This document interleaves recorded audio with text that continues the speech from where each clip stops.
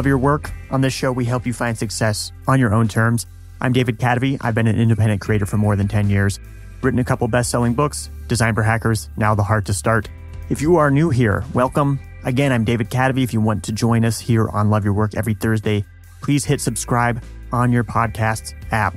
Regular listeners know that I recently self published for the first time. In the process of self publishing, I have discovered a whole new world. I used to think that self publishing would be a step down for me. After all, I had a traditional publisher for my first book. It was nice to have the vote of confidence and the advance check from the publisher, and it was nice to have the support on editing, design, and distribution. But it turns out that there's more and more opportunity in self publishing. You have full control over your writing, and you're going to be responsible for most of your marketing anyway, so you actually have more control over that marketing as a self published author. And it turns out there are more six figure authors than ever. There was a recent survey from Written Word Media, and it found that in 2017, the number of authors making $100,000 or more jumped by 70%. That's a lot. Our guest today is one of the leaders in helping self published, or I should say, indie authors find their way. Joanna Penn has been self publishing since 2009. She's written 27 books under three different pen names, and she earns a multi six figure income. She writes about writing and running an indie author business at thecreativepenn.com, and she also has a fantastic podcast called The Creative Penn. So, in this episode, you're going to learn why is self published the wrong term? I keep saying self publishing, and I'll probably keep saying it, but Joanna prefers the term indie author. Now, why is that? And how can you hit the New York Times bestseller list as an indie author? Joanna has done it. She's going to explain why she thinks it's not such a big deal. And why have pen names? As I said, Joanna publishes under three different pen names, which I think is very cool. And it's an interesting way to break down creative resistance. But I was surprised to hear why she really does it. And this is another sponsor free episode. I have to say, there's something I kind of enjoy about not having sponsors because it's less to manage. It lets me focus on putting together the episode and then doing more writing outside of working on the podcast. But it does take money to make this show. Fortunately, about half of production expenses are covered by our Patreon supporters. If you want to join them, if you want to listen to this podcast, knowing that you are helping make it happen for thousands of people, please donate. You'll get early access to episodes and other cool things on your custom RSS feed. Learn more at kadavy.net slash donate. That's kadavy.net slash donate. Here is Joanna Penn.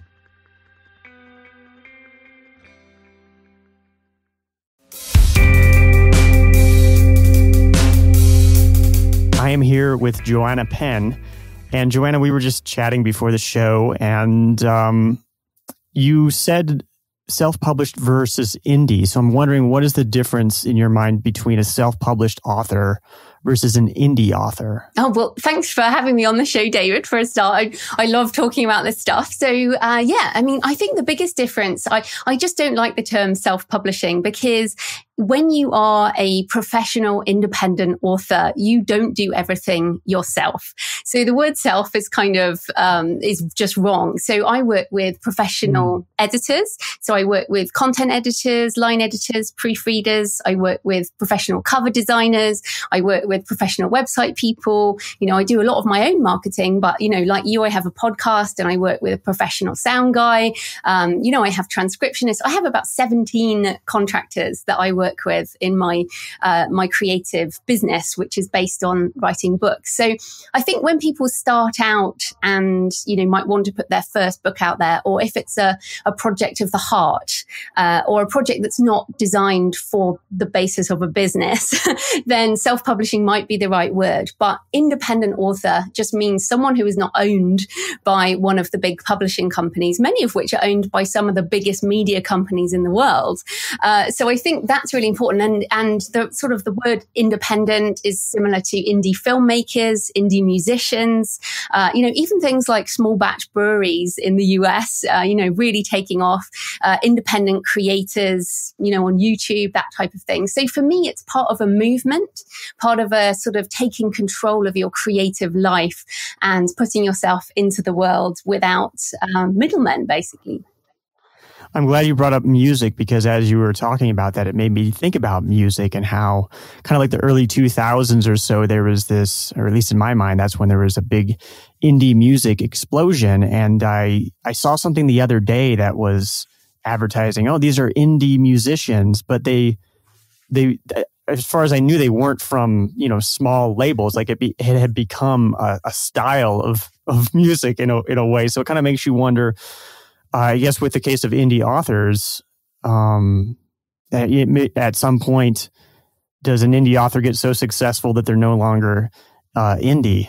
Well, I think uh, there is a, a, genre of music, uh, you know, indie music back in the, I think it was the 90s, you know, originally. But the, the word independent just really means that you haven't, you, you own and control your intellectual property assets. So mm-hmm. when you sign with a publisher, you are basically licensing your intellectual property rights to a company. And most authors, um, many authors don't really look at their contracts, but if they did, uh, then you would see that you're essentially most of the time licensing, say, world English rights in all formats, all territories uh, to that company. So, you know, that company might be a massive conglomerate uh, rather than being independent where you can do what you like. So, for me, I, or, you know, I love the control and ownership of intellectual property assets as the fundamental basis to my business.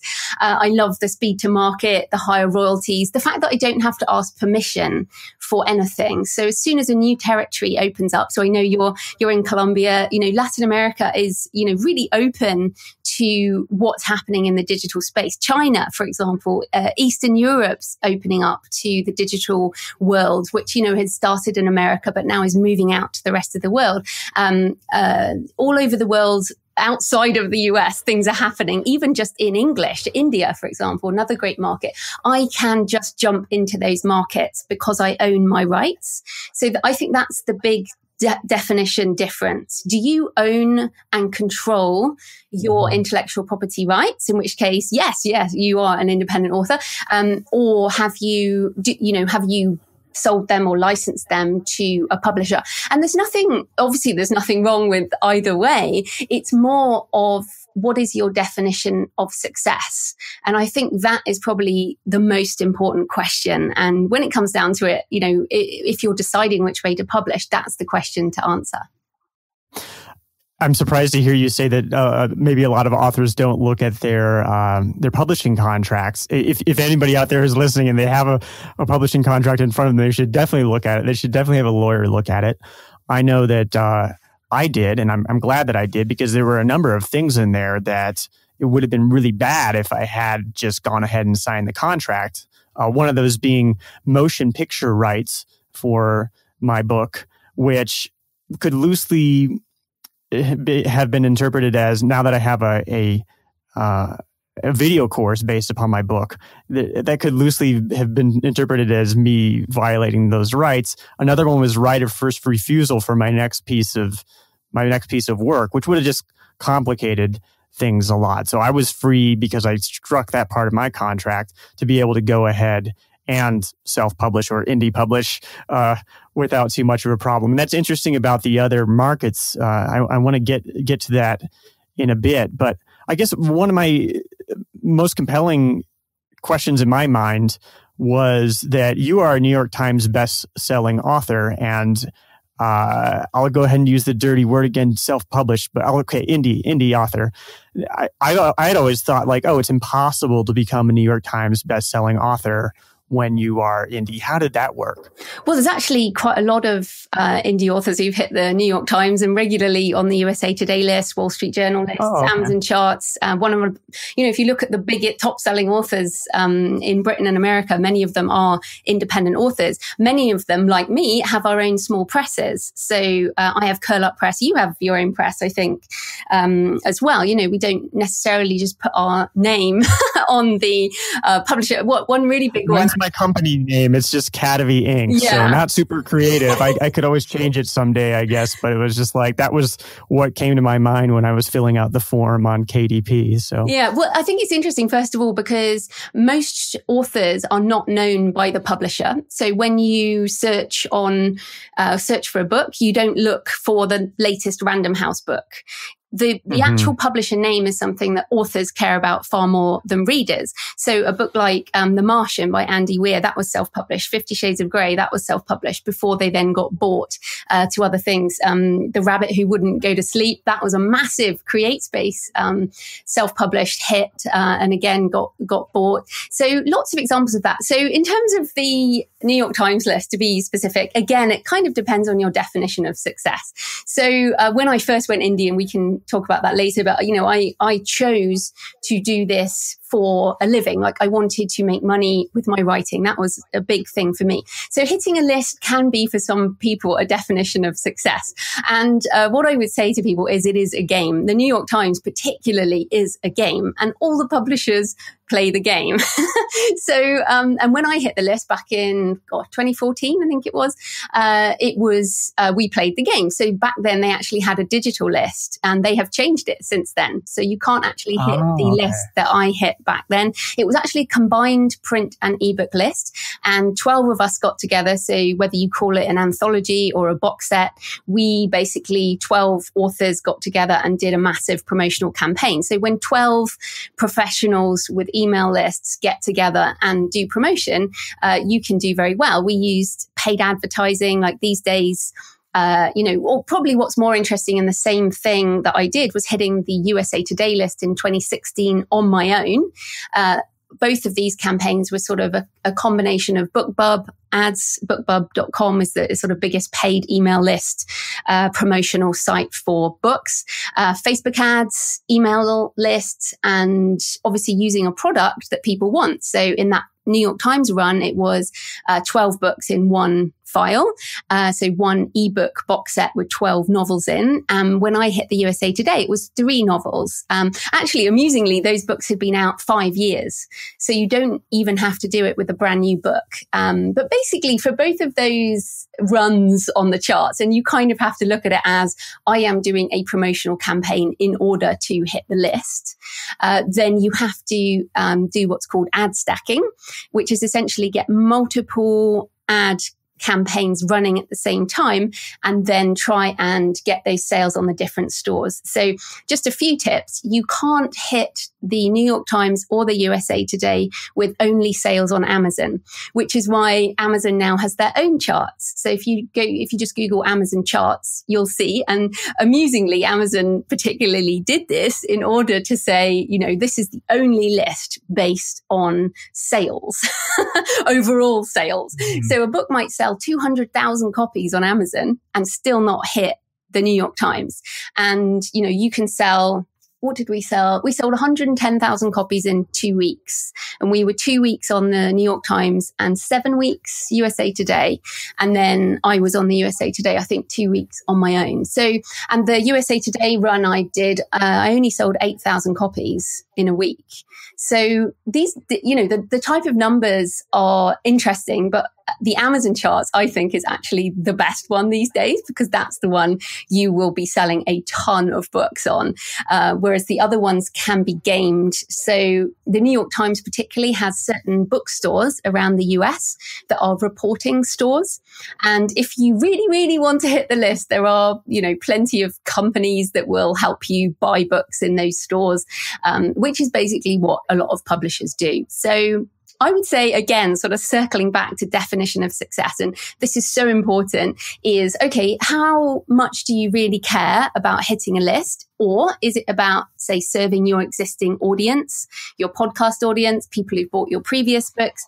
Do you want to actually make money? Because when you do a promotional run, you'll have to pay a lot in terms of promotional advertising and you might only break even uh, on your promotion do you just want those letters after your name uh, you know what are the reasons that you want to do these things and then is it really worth it yeah i'm glad that you're bringing that up because you know i myself had a decently successful first book, and I was thinking, oh, my next book has got to be like a New York Times bestseller or something. And eventually, I just ended up letting that go. Just the more that I've learned about getting on the list, what does it do for somebody? Some of the companies that you were talking about that will kind of go around and buy books at physical retail stores to help you get on the list, like that costs, from what I've heard, around two hundred thousand dollars or something like that.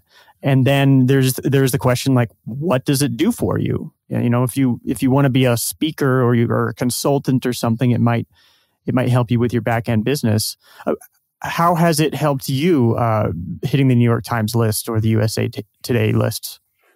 Uh, I I really I just did it because it was a game and I wanted to play the game. I didn't I didn't I mean I think the USA Today I kind of just wanted to prove a point that you could do this with older books as an mm-hmm. as an individual author and overall it cost me about I think it was about five hundred dollars um, it cost. Wow. So it, it, uh, I spent about four and a half thousand and I made about 4,000 in that period. So you know, uh, that was just proving a point. And then I was just, you know, I was invited into the run back in 2014 for the New York Times. So it wasn't a massive investment for me. I certainly didn't spend anything like what, what you were talking about. So you don't have to do that. That is more of the print list, uh, if you want to do that. But I think, you know, w- we should really just come back to what is the important thing. And to me, the lists mean nothing these days. And in fact, you know, the Amazon bestseller pretty much anyone can be an Amazon bestseller and you get that little yellow banner. Um, mm-hmm. You know, best selling books now are to a penny. You know, there are hundreds of thousands of books coming out all the time. And I personally believe everyone should write a book. I think we need more and more books and we're a self-sustaining industry because of that, because everyone who writes a book will read far more books than they will ever write. So this is my kind of methodology for changing the world is, you know, get everyone to write a book because then everyone will read at least 20, 50, 100 books. Um, but basically you, again, coming back to what do you want? So what's more important? I never ever had a goal to hit the list. I mean, I thought that might be nice, but I'm also in Britain. So in Britain, our lists are completely sewn up. They're not at all about sales. So you can't hit a list in Britain um, as an independent author. They're completely you know, ring fenced for traditional publishers, uh, whereas America is slightly more egalitarian. But for me, it was always about making a living and, make, and making a multi six figure living. So that's why I, you know, partly I write because I make a living that way, but also I write because I can't not write. and I've got, mm-hmm. you know, mm-hmm. 27 books right now. Um, I never had a goal to win a literary prize, um, but I'm now award nominated, you know, but if you have a goal to win a literary prize, then you'd be better off traditionally publishing because most of those prizes are also um, very directed at traditional publishers. And most of them have a very high entry uh, fee into them. Uh, many people might not realize that, but you know, many of these prizes are funded by the entry fees of the publishers who put books in them. So th- these are the things. There are lots of myths and lots of things that go on behind the curtain of publishing. And I think once you get into it, like, as I said, you know, 27 books later, the publishing aspect of my business is minuscule. It takes me a couple of hours to publish a book. Uh, the time that I spend is in writing and marketing. And you have to do those things however you choose to publish. It's just I make 70% royalty on my books. Whereas, yeah. you know, a traditionally published author might make 10% up to 25%. Yeah, I had a conversation with Seth Godin several months back that really helped me break through my own resistance to uh, self-publishing, using the dirty word again, um, which was basically that you're still going to be head of marketing for your book no matter what. And in fact, in in um, in marketing my new book, The Heart to Start, I have learned things about marketing that I never would have learned traditionally publishing. That I certainly didn't learn with my first traditional publishing um, endeavor. And in fact, some of those things have been things that I've learned in the process of marketing this book that have then helped me uh, sort of revive or reoptimize my first book, Design for Hackers. One of those examples just being that I, I, I realized that uh, my publisher had attached you can attach these back end keywords uh, to books on Amazon for for those who are listening, And so they had added these keywords that were just not appropriate at all. Uh, one of them was reverse engineering. And because I think because of that, I ended up getting a one star review from somebody who was complaining that my book, Design for Hackers Reverse Engineering Beauty, was not a good book about reverse engineering. yeah, you know, I can see why that went wrong. yeah. And I had, and I had no way of knowing that those keywords were wrong um, because I just didn't know about these back end keywords and that I could just call Author Central and have them change. I mean, I actually have to work with my publisher to change those keywords, but at least in the case of, um, well, I, I guess in, in, some editions, sometimes it's possible to call Author Central and change the keywords, but then there's a feed coming from the traditional publisher that ends up overwriting it or something like that. So there's plenty of stuff to be learned about marketing and you're going to have to do the marketing anyway and there's something nice about being responsible for it because then you're accountable and then you actually learn more that way i find. Yeah and also i think the keywords is a good example because they change all the time. So uh, you know not to get too technical but you enter these keywords in on the sort of the back end publishing engine um, you know on kdp or whether you're on kobo or ibooks or any of these other sites. And they kind of populate. So when people search as you said they come up but they can also put you in subcategories. So for example i write um, conspiracy thrillers and you can get into subcategory conspiracy conspiracy thriller with a keyword. But then Amazon are always changing their algorithms, but they're also always changing their subcategories. So mm. your keywords that you put on at publication will not stay the same. So I'm updating my keywords on my books, you know, a couple of times a year as new keywords, new search terms become more important. And that is the control aspect.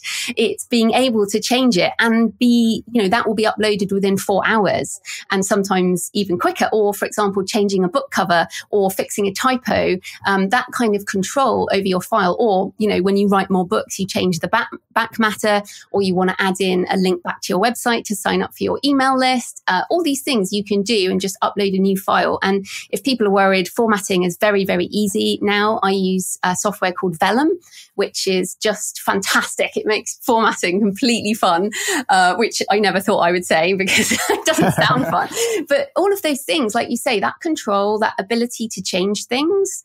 Um, so I'm just coming up to 10 year anniversary on my first nonfiction book, Career Change, and I'm updating it for the 10 years. And, you know, all I'll need to do is just upload another file, upload a new cover, and, uh, you know, that will just carry on. So this sort of long term control. And I mean, I don't want to rag on traditional publishers because they're amazing people working in traditional publishers. But the other issue is skin in the game. So you would have worked with an editor and you might have, you know, you would have worked with a cover designer or they would have assigned you one, all of whom are paid a salary from that publishing company. None of those people actually have skin in your game. Their job is not necess- not to make a percentage on what you sell. Whereas when you're selling it yourself, you have the ultimate skin in the game. You absolutely care about your product and you care about it all the time. So a publisher will have hundreds, thousands of books in their backlist. They are not going to go back to your book a year later and update keywords unless you're selling really well. I'm sure they do it for like Lee Child and people like that, um, you know, but they won't do it for most authors. Um, that's something that you, you know, you would have to remind them to do yourself because they can't look at all of their backlist right now. I mean, maybe they will once machine learning, and I know you've looked at some of this technology. Uh, you know, this stuff AI will start to come online, but I also think that AIs will mean there will be more books written by AI. So we're, we're in this mm-hmm. really interesting world right now where the technology is enabling independent authors to make a living, and we can do absolutely everything. We can do audiobooks through ACX, we can do print on demand, um, you know, through CreateSpace, Ingram Spark, who are who and Ingram are used by the biggest publishers in the world. You know, uh, there's lots. We can pretty much do everything. I mean, it's it's crazy. So yeah, you have to decide again. Do you want to give up that control in exchange for whatever percentage uh, or do you want to keep that control yourself and upskill and i would say like your a lot of your audience are entrepreneurs and you interview a lot of entrepreneurs so learning new skills is part of the job description so to me this is a skill that you master a bit like say wordpress uh, another skill that most um, you know, most online creatives have to learn how to use WordPress. This is a bit like that. Once you learn how to do it, it becomes a functional part of your job as opposed to the fun bit, the creative bit, um, you know, that type of thing. Well, I'm glad that you mentioned all the different skills because that was something that I discovered in the process of doing the self-publishing was I realized like, oh, I've been building all these skills over the last 10 years being independent. Okay, I, I know how to do the writing. That's an obvious thing that you need to be able to do. I, I some of the marketing, some of the search engine or Amazon is is is a search engine, and so there's SEO stuff going on there. Uh, I did all the layout. I coded it in HTML for the the Kindle version on a, a, program called Sigil. I did all the page layout. I'm trained as a graphic designer. I did all that on InDesign. Um, I recorded the audiobook myself uh, in my own sound studio and had already practiced reading articles on my podcast and everything. So it was really great to be able to exercise all those different skills because I'm a person who really likes to learn a lot of different things. I know a lot of my listeners are the same way because I certainly get a lot of people uh, maybe fretting to me that ah you know I just have so many different interests and they're disparate interests. So uh, indie publishing is one of these things that you can that you can do where you can really use all of your different skills and build on those skills and and learn so many different things and make a living doing so. It's really wonderful. It is. I would say to people though listening, I mean, I don't do most of that myself. So I Yeah, you don't have yeah, to, obviously. I think that's really important. So I I pay cover designers. I do my formatting because it's just so easy. So, I mean, you don't need to be a coder. I know you're quite technical, but you don't have to be a coder to do um, formatting. It's a bit like Microsoft Word now, or Kindle has uh, Kindle Create, their own tool for, um, you know, for Amazon.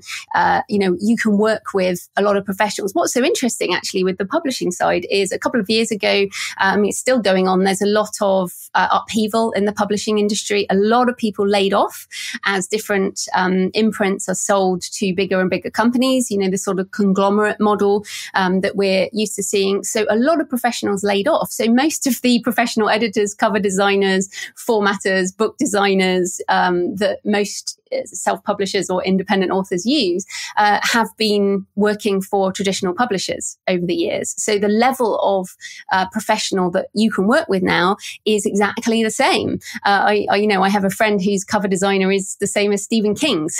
you know, you, you basically got access to these people now because so many of the publishing companies went to a freelance model as well. And often people will love to work with independents because most of these designers are also independents as well. Yeah, there's all this talent that's out there because I mean the model is changing so much. I mean it's unfortunate for the for these people that are out of their jobs or, or, or whatever, but the the big five publishing publishers, their market share just keeps on dropping, and the indie author market share keeps on keeps on growing. So um, it's just the industry is is definitely changing. Like I mean, we've heard about this for the last 15 years, it feels to me like things are, I'm, I'm talking to a lot more um, traditionally published authors who are saying, I'm definitely self publishing my next book. Yeah, and I, and partly that's because mo- many of them are not making enough money anymore, and that is very similar to let's take the music model or the film model. So a few not that long ago, there were only a few channels where you would watch TV. Right in our lifetime, we're talking, you know, when I was mm-hmm. growing up, you would watch what everyone else was watching. And it's the same in the book industry. Everybody used to read the books that they were told to read. And now in the same way that we have Netflix, we have Amazon Prime, we have, you know, Hulu, we have uh, all the other network channels for TV. So you can segment down into things that you're going to watch. And generally the conversation is not about one big thing, although obviously we've had it with Game of Thrones and things like that. But most people are listening to different podcasts. They're watching different shows. They're reading different books. And that ultra segmentation of content. I mean, YouTube's another great example. Uh, you have some big YouTubers, but most people are kind of in these weird corners of the internet with people, you know, finding different people. And that's what's happened with books. So I was at into uh, Thriller Fest last year and in New York, uh, the International Thriller Writers Association. And there was a, a report done. And they said what's interesting is most people now will not have heard of the authors on the New York Times list. So it used to be that hitting the New York Times list was a reason to control the conversation. And that's again why sort of circling back is not that important anymore because uh, readers find books in different ways. You know, they might, for example, podcasting, I find so many nonfiction books, particularly from listening to podcasts. I'm sure you do as well, right? You hear mm-hmm, or you yeah. interview someone or you hear an interview and you're like, oh, I'm going to buy their book um, because I'm interested in in their take on things. So you go straight onto Amazon and find it, which is why podcasts can really shift books. Like Tim Ferriss, you know, will mention a book and it sells g- gazillions. So the Tim Ferriss effect. Yeah, yeah, the Tim Ferriss effect. And this is the power of of an audience of building your your own audience. And um, yeah, so I think this ultra segmentation is the reason why so many traditionally published authors have seen their incomes drop, and how indie authors who, let's face it, we can write at speed and the creation of the book might take a similar amount of time to a traditionally published author, but because we don't have to wait, uh, for the editors, for the agents, for the publisher to put you on the schedule. Like I know traditionally published authors who've written a book and it's been, it hasn't come out for another year after oh, they okay. finished. I mean, that's quite normal. Or even with people's first book, they finish it, then they spend a year getting an agent, then they spend another year waiting for the deal. So in that time, you know, one of the reasons I went indie in the first place was I discovered how long it would take for my book to come to market. And I was like, no way, that's ridiculous. I can just upload it and start selling it this afternoon. so that's another reason why indies can make more money is because we can put books out faster, uh, you know, rather than having to wait for somebody else's schedule where there are other people in the queue in front of you. I mean, obviously there's pros and cons, but that speed to market and the ability to put more books out in smaller micro niches in the same way that you know YouTube or music or TV or whatever uh, do, and that is a, a huge part of of making a living. Yeah, that was a huge motivation for me. Was that I had spent I spent quite a bit of time finding the right book idea and doing the positioning and stuff, but actually the writing of the book really only took maybe a total of a, a couple of months or so. And, and, and as I was looking at traditionally publishing, um, it just seemed like that timeline was going to be so long. Again, also what you were saying about um, sort of market segmentation. I really felt that pressure when I was going for traditionally published deals because I really felt this pressure to kind of go with these authority triggers uh, as an author that I don't that aren't me and that I don't even see as authority triggers like these ideas that oh you've got to be a you know a Stanford PhD you've got to be some business consultant with a lot of experience in this exact same thing but I'm somebody who likes to find my own path and so independent publishing allowed me to go ahead and address a potentially smaller market and get it out quickly. And uh, it's it's been a fantastic experience. Now, I will say, I'm very jealous that it sounded like you didn't really have to let go of any ego to go ahead and independently publish. Is that accurate? Let go. Well, I think you need a healthy dose of ego to want to put your books into the world. so well, we all have ego. Say, well, yeah, well, no, I mean, yes, we all do, but I, th- I, think it can come in different forms. Yeah, there's the ego of like, hey, I have something to say, I'm going to publish it, but then there's also the ego of there's also the, the ego will hold you back in a if i'm going to write a book if i'm going to put through go through all this work it's got to be good so that my family and friends and myself will believe that I am a, a worthy person, you know, like these sort of things. And then this idea that, oh, I need to be a New York Times bestseller when you don't really necessarily understand what that means or why that would be a goal that you would want to have. And if you did know, you would probably change your mind. So I think that it's something that holds a lot of people back. I mean, I remember reading an article the other day from somebody in the Atlantic, and she was saying she's been trying to get a book deal for 10 years and she has books that are written already. And it's just, it was just so sad to see that she wouldn't just like let it go put these books out there, you won't learn anything until you do it. Uh, mm. And it, well, I think did you struggle with any of that? Well, I think it, again, it comes back to definition of success. So when I wrote my first book, I was working uh, implementing accounts payable at a large mining company in Australia, which yeah. you know it was like the least creative thing possible. And I got to the point of like crying at work. I was so miserable in my job, my very highly paid consulting job, um, that basically I I want my definition of success was to change my career and become mm-hmm. a full-time writer. So I, you know, I was making six figures. And so I was not willing to become a writer unless there was a way I was going to be able to get back to the same level of income. Uh, and now I make far more than that. But, uh, you know, it's taken 10 years to, to make that shift. But my, so my definition of success was never uh, somebody patting me on the back from Random House. Uh, although I know that is for many people what they ultimately want. So for me, the validation and this this validation is huge, uh, and and I do come up against it when I go to literary festivals and I speak at a lot of events. Um, and you know, people will kind of look at me in this way and like and treat me as second class citizen, even though I'm making, mm. I mean, there are, most authors have a day job. You know, I actually earn, I'm in the top 1% of authors. You know, it's kind of crazy with uh, many of my friends are as well, because we are driven by creativity, but also by income. So I think that's really important. I was, I have been a businesswoman running my own business for well, nearly 20 years at this point. Um, not in all of that in writing, but I know how to run a business. So I think that was that was a really important point uh, for me. However, I went to Oxford University. You know, my mum was an English literature professor, um, not professor, teacher. And when I showed her my first novel, she said, why don't you write something nice like Hilary Mantel, who won the Booker Prize for Wolf Hall? so, and I still remember that. I'm like, mum, I'm, I'm not aiming to win the Booker Prize. I mean, this is the thing.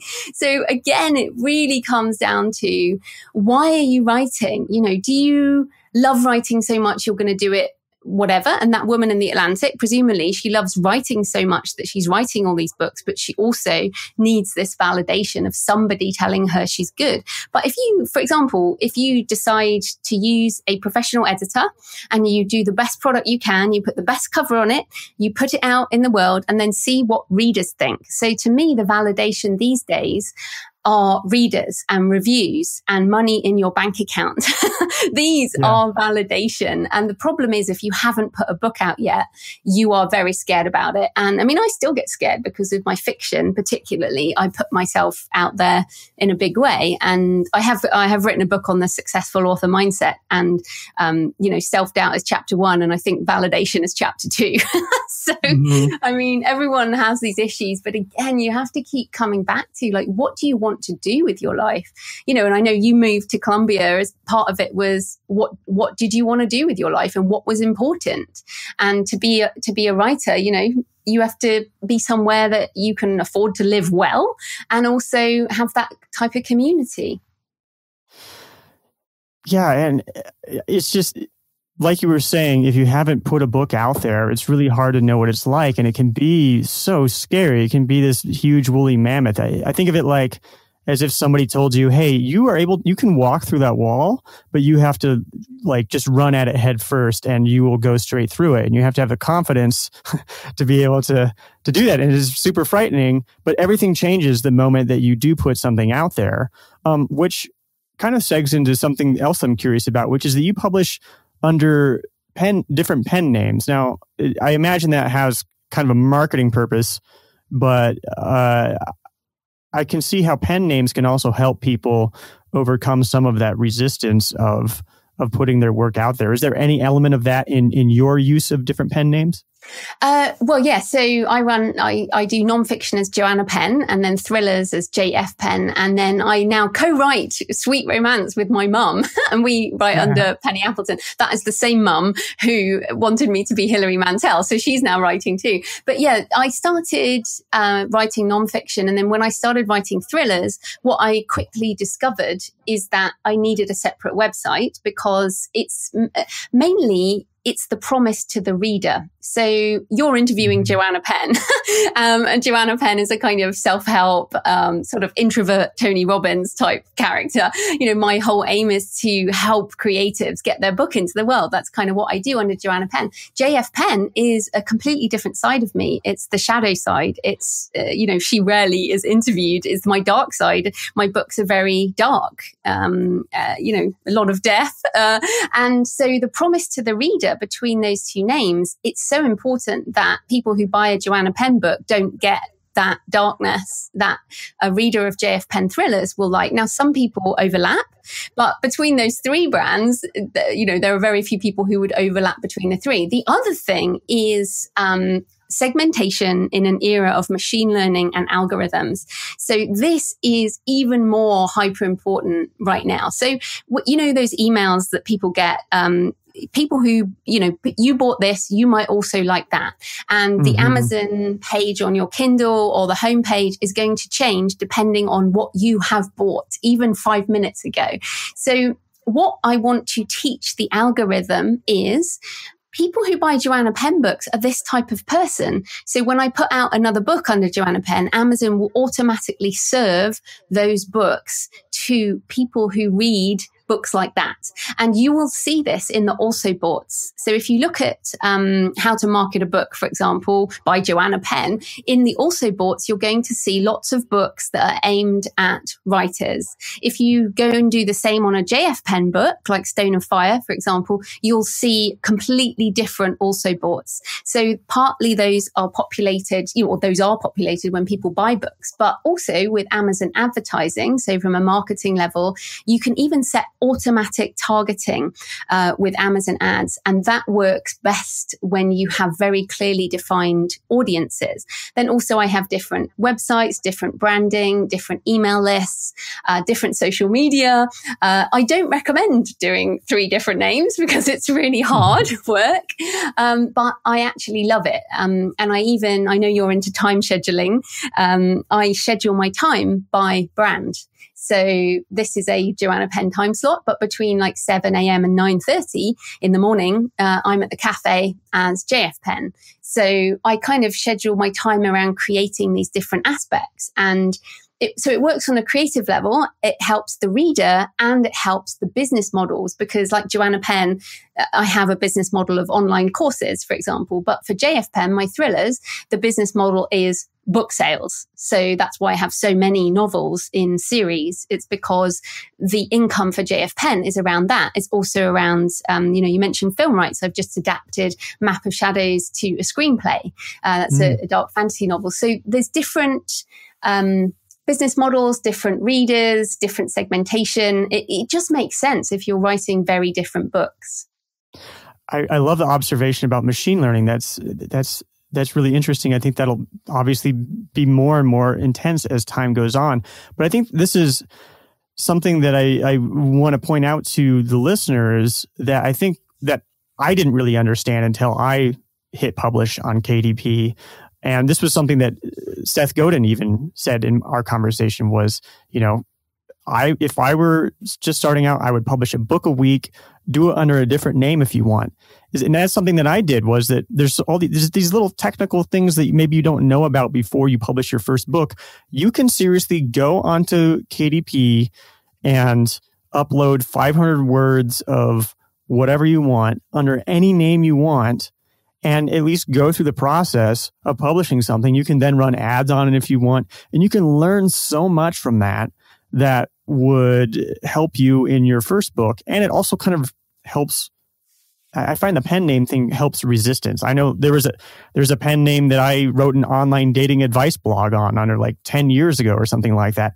I was making a lot of money from that. But part of it was just like I didn't really want to publish that stuff under my under my real name. Now I don't mind people knowing about it, but um, it can be a way to get over that emotional barrier as well to actually getting your work out there. Yeah, and I think uh, book length is also really important. Um, I don't put out a book a week, um, but I know people who put out one a month. You know, who put out, um, you know, like romance authors, for example. A romance novel can be fifty thousand words, uh, but many authors are putting out novellas, so that's about twenty-five to 30,000 words. For nonfiction, I mean, Seth did it himself with the Domino Project, um, put out a lot of small books under the Domino Project a few years back. Uh, with digital sales, your book length is not defined by how big your spine is. And that's why traditional publishers uh, favor longer books. So for a nonfiction book, for example, they'd be expecting 60 to 80,000 words because the size of the spine is important in a bookstore. Whereas on Amazon or Kobo or iBooks or any of Barnes and Noble, uh, you know, you see that cover and they're all the same size. so it doesn't matter how big your spine is. So one of my best selling nonfiction books, How to Make a Living with Your Writing, that's only 27,000 words. And that actually doesn't take very long, especially if you use a technique like dictation and then an editor, you can write a book like that pretty fast, or you could do a short story. So I have quite, I'm about to put a short story up maybe even this afternoon, uh, which is, what is it, about 3,000 words. Um, and I'll just put that up for 99 cents. Uh, it's got a cover on, you know, you can even get free covers at a site like canva.com, you know, for a, a short story. I had mine professionally mm-hmm. designed, but if you, you know, a short story, you might not want to spend any money uh, on it. But as you say, you can test it out. So someone like Hugh Howey, who people might have heard of, uh, who had a massive hit with Wool, he's an indie author.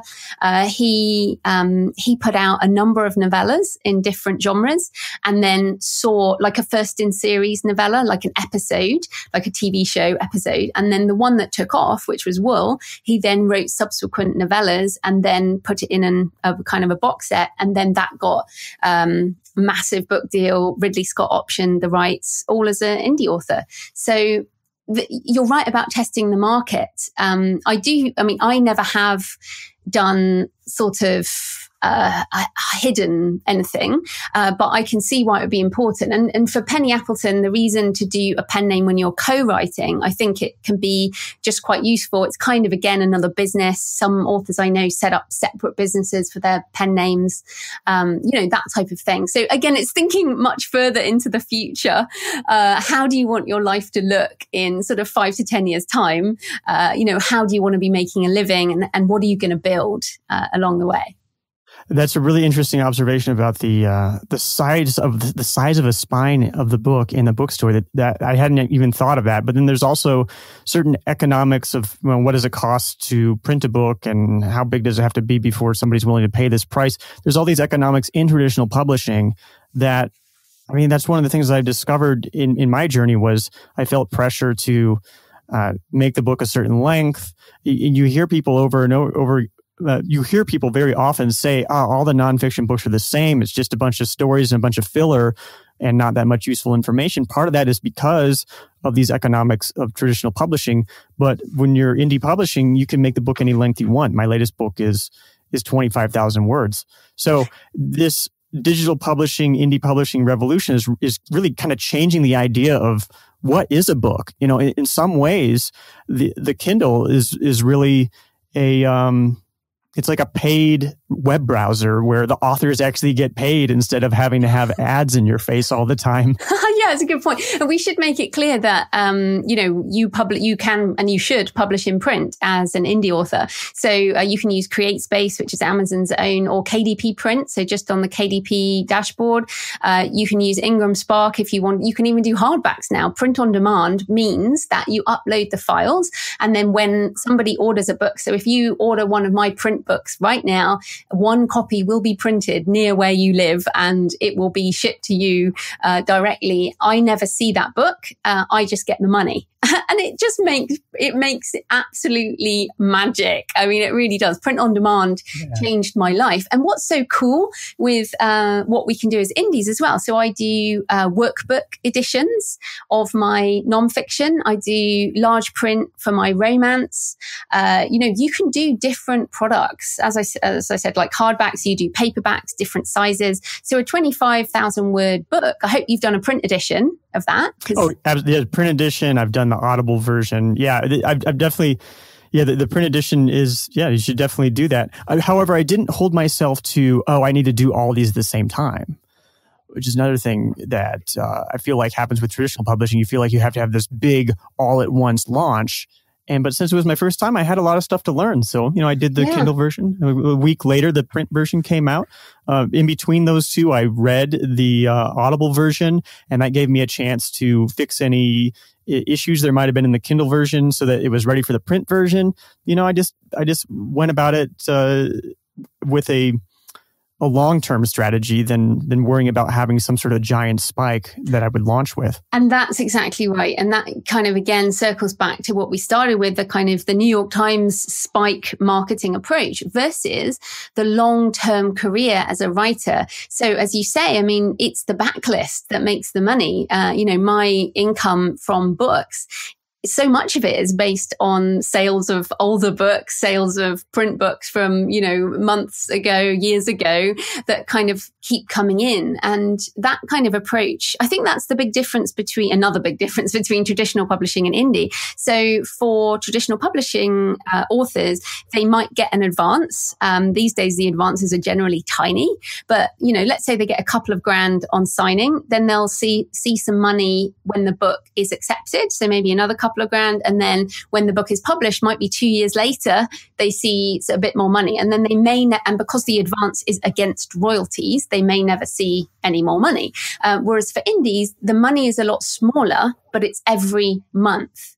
So if I look at how much, um, you know, so you have to have a longer time period. So do you want 5,000 upfront now or 5,003 chunks over three years? Or do you want, you know, a hundred dollars or $200 a month for the rest of your life and 70 years after you die, because that's the life of copyright. So this is the thing. And this is again for me why fiction is such an amazing business model because one of the issues with nonfiction is you have to keep updating it. Whereas mm-hmm. with fiction, you write that book, it's going to make you money for a blooming long time. it's just absolutely magic. And just, I have one more tip as well around uh, digital products. So box sets, uh, if people, so I mentioned these earlier, but box sets are completely magic. So this is where you put multiple books into the same ebook print book or and or audiobook. So i do and box sets are like say three books in one. And there's a completely separate market for box sets. Uh, it's just amazing. So you might make you know you put them together and sell them at a slight discount and you'll sell loads of those and I have them in ebook print and in audiobook. And, and big tip for audiobook, the audiobook box set looks like an amazing deal when someone has an audible credit. They're like, wow, this is amazing. So I sell a lot of audiobook box sets. Joanna Penn, this has been such an amazing conversation. There's there's so much to learn in publishing, especially being an indie publisher. So I really encourage our listeners to go listen to your podcast, The Creative Penn, uh, and you have so many other resources on your, your website. Is there any other places you'd like for for people to uh, to find more of you? Well, um, Successful Self Publishing is actually a free ebook. It's available on all the um, online stores. So if people want to sort of find out all the nitty gritty details, then check that out. But yes, uh, otherwise come over to the podcast, The Creative Penn, or ask me a question on Twitter at The Creative Penn. Joanna, thank you so much. Thanks for having me, David.